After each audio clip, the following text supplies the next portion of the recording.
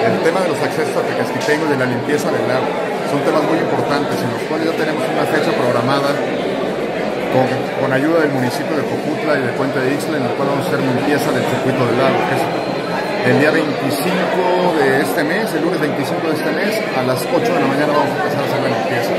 Si quieren venir a constatar que lo estamos haciendo, están invitados todos los días. El lago se, está en las mejores condiciones, el agua, de la, el agua del lago de, de tengo no está contaminado. Acaban de hacer un estudio biólogo de, la Universidad de Jicarero y encontraron que el lago está en perfectas condiciones con una oxigenación arriba del 8%. A las autoridades estatales las peticiones son que nos apoyen con la campaña publicitaria que nos han prometido, que la campaña no se quede, que no nada más se quede en una carpeta, sino que en realidad se haga. El Consejo Ciudadano va a trabajar unido y viendo el porvenir de la, ciudadanía y de, todo, toda la localidad, sin, importar muchas veces que las, cosas que hayan sucedido en el pasado no se hayan dado, sino al contrario, vamos a trabajar con el pie hacia adelante y dándole fortaleza y fuerza a todo lo que se está prometiendo.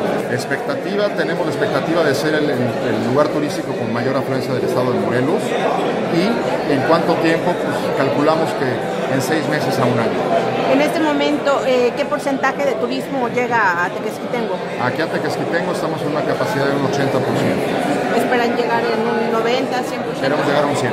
El llamado a los prestadores de servicio que se capaciten y den buena, buena calidad a buen precio, que no traten de enriquecerse con un solo cliente, sino que busquen dar mejores calidades en su servicio y mejor calidad en sus precios. ¿Cuántos prestadores de servicios hay aquí en Habemos alrededor de 90. Estamos censados. Sé que hay más, pero estamos dentro del censo, somos 90 prestadores de servicios.